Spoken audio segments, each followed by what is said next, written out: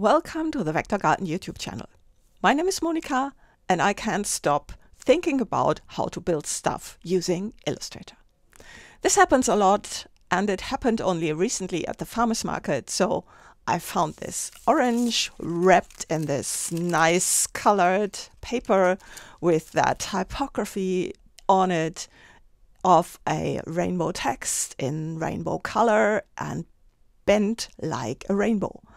And of course, I was thinking about, well, how can I build this in Illustrator? And not only that, the methods differ in their ability to be changed and bent and reused. So in this episode, we're going to compare these methods and then discuss their pros and cons. So let's dive right into that. So let's check out method number one pretty straightforward. We're going to use a gradient and an envelope. I've used the German version of the text because it has the descenders, which the English version has not. Now, first of all, we're going to set up the gradient. So let's go to Window Gradient, and then let's set up the gradient. So I'm going to create the gradient stop, double click it and set the color and then create the next gradient stop by double clicking into the rainbow and then double click again and again and then yet another time and one more and then let's double click the black one and there is the gradient. You can adjust them. I just set them up and eyeballed it. And when you have done that, you go to the swatches panel and there you can create a new swatch and call that rainbow. So you can use the gradient in a different way. I'm just showing this here. So what you can do, first let's make this broader. So in order to be able to work more precisely, what you can do is duplicate this one and duplicate this one. And when you then set these two to the same position, which is about 14.25 if you want exact dividers like so and then you can enter the same value for this one and you get a hard edge in your gradient. I have created that kind of gradient already so it's one of these and you see this is set up in exactly that fashion. So let's go out of here and the first thing we need to do is, of course, get that gradient on the text. And this is already kind of a test of our abilities because we have to use the appearance panel. And then let's first get rid of the existing color. So let's set this to none and then go down here and set up a new fill. And then, of course, we can apply a gradient to it like so. And then what we can do is use the gradient tool and let's just set up our gradient. Great. So next thing we need to do is bend this text. So let's go to Object and Envelope Distort, make with Warp, like so. You see, two things happen. The text gets quite wide, which is not very nice. And, well, the rainbow is just straight. Let's first solve the thing about the rainbow. Let's go to Object, Envelope Distort, and Envelope Options. And there you can select to distort linear gradient fills. So this is a linear gradient, not a radial one, and that's why this works. So, nice gradient. Okay. The text can be solved as well. So what you can do is double click that to get into the envelope and then let's go to the character panel and set this up to maybe 90% to make the letters kind of condensed and when they get distorted by the envelope, then it works again. So this is the first method of how to get our rainbow type. Next one, let's take a look at method number two. And in this method, we are going to use a pattern swatch. So let's first set up that and I'm going to make a very long pattern and just by duplicating these rectangles that have swatches applied. So let's make a duplicate. Smart guides help with aligning them and just like so, let's zoom in slightly like so. Make the next line and duplicate this again and yet another time and then we are done with this pattern shape. So let's condense that slightly like so and then we can drag it right into the swatches panel to make the pattern like so. Let's get rid of that, but I'm just going to move it to the side. And we need, of course, another text. So let's make the English text this time. Okay. It's still condensed, so let's leave it like that because we are going to distort it again. In order to apply a pattern, you can just click on the pattern and this one matches, but that is not a given. So you see when I move it around, the pattern doesn't go along with it. We can solve that, of course. I'm going to go into the preferences and there we see transform pattern tiles. And when that is checked, you see I can move it around. But still, the applying the pattern depends on where the text is. So let's make another text and like so and move it in here and apply the pattern. And you see the pattern gets applied at a different position because it depends on where the text is of how the pattern gets applied to it. And that cannot be solved by that setting. So that is that.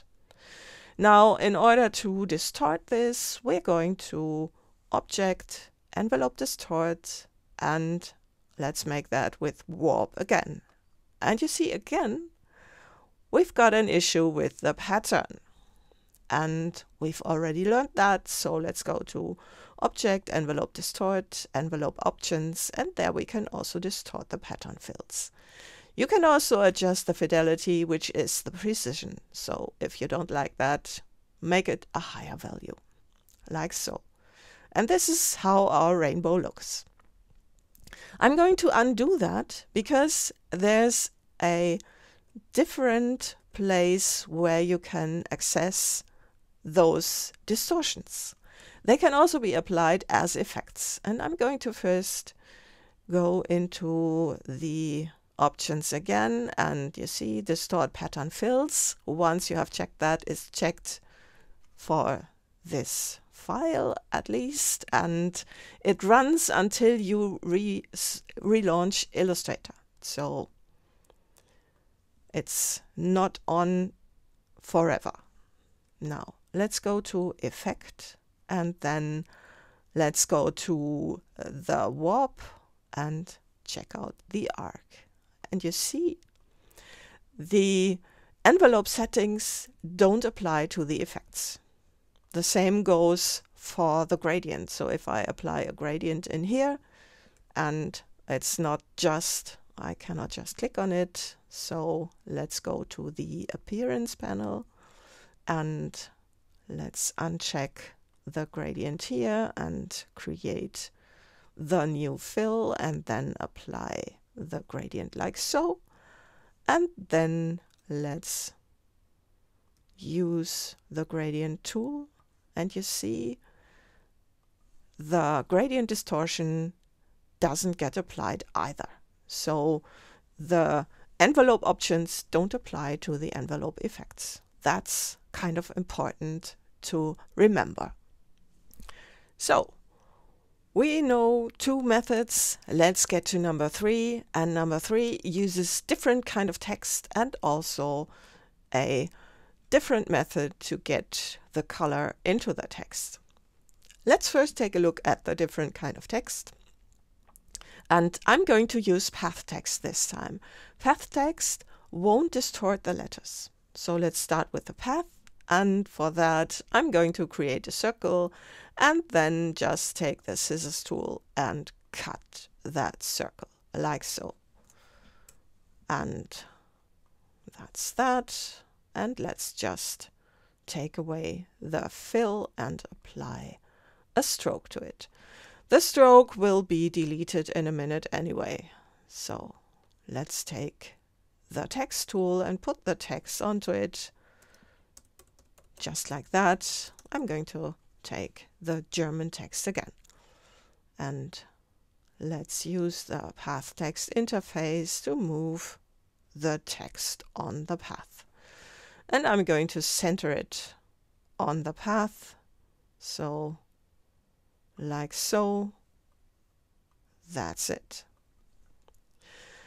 In order to get the gradient into it, this time we couldn't just use a linear gradient because that wouldn't distort in any way. But we could think about using a radial gradient. So let's go to the appearance panel and let's first delete that fill and then create a new fill for that text object like so and then we can apply the gradient like so. Linear gradient doesn't work so let's go to window and gradient and then set this to a radial gradient. And now what we can do is just adjust this radial gradient.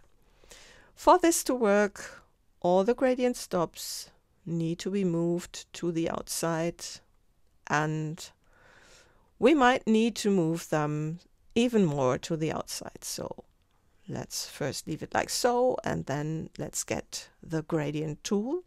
We need that to position the gradient in the text. Let's make it larger and then again move it and you see we're kind of getting where we want to get with this. Needs some adjustment, but you see how this will work. So you might need to move the gradient stops even farther to the outside of the gradient and then adjust this slightly more and then you might get there in the end like so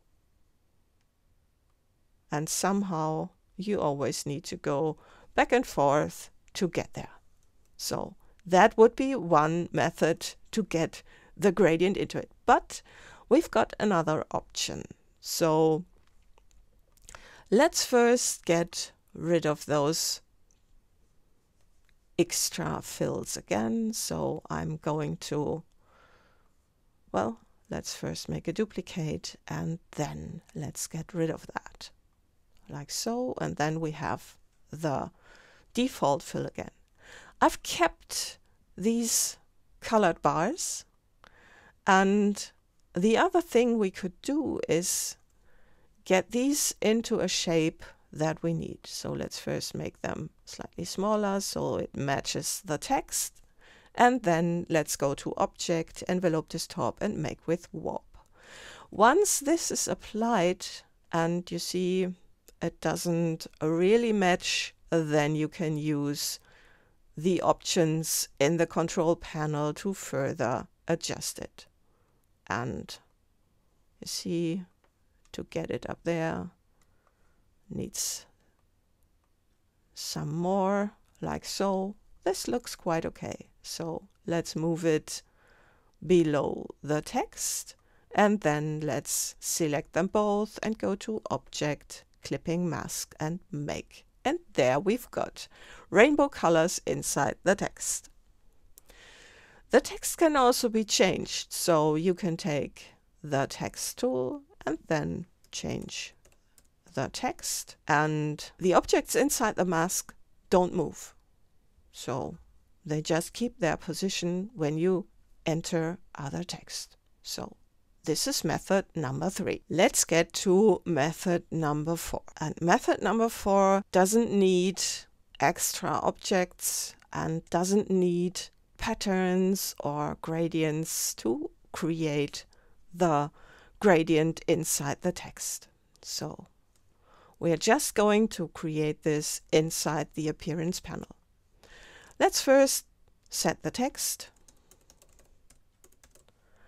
And for this work, we need the text to be converted to a compound shape. So let's go to Window Pathfinder. And in there, we can just make a compound shape. The text is still editable, so you can use the text tool and select it and edit it. We need just this to work. So now we are going to create the colors in it. So let's do this and I want to see the text when doing it. So I'm going to leave this fill and create a new fill. And just set this to the center color and the center color is this green. And we want this to be a rectangle. So let's go to Effect, Convert to Shape, Rectangle, like so. And then let's reduce the height. And this is okay, like so. Next thing, we're going to need a copy of it and then let's create the other ones. So the next one is a yellow one and the yellow one needs to move. So for moving it, we're going to use Effect, Distort and Transform and then transform it. And for the transformation, we need to set the reference point, which is the bottom in this case and then let's just make this larger. And you see, like so, and create the next one, make it orange, and then let's edit the transform effect like so. And then let's make the next one in red. And again, edit the transform effect. Like so. Okay. And then let's create the next ones. And those next ones should move to the bottom. So needs to be a blue one and then let's go into the transform effect and set it up there. And then of course needs to be smaller like so. And you see I've actually made them quite large. So they are too large for this text but I'm leaving it like this so when following along, just create smaller offsets with the transform effect. So let's create the next one here and make that in a darker blue. And again, in the transform effect to the top and then like this. And then we need yet another one like so.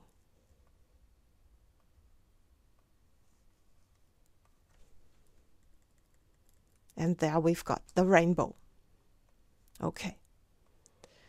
So we don't need this fill anymore. I'm going to delete it. And we've got the stroke up there.